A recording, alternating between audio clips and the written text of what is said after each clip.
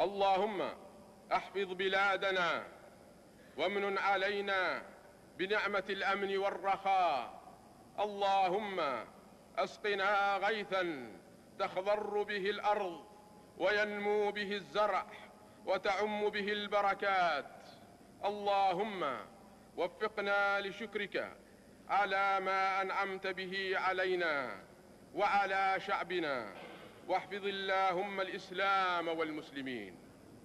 عباد الله إن الله يأمر بالعدل والإحسان وإيتاء ذي القربى وينهى عن الفحشاء والمنكر والبغي يعظكم لعلكم تذكرون.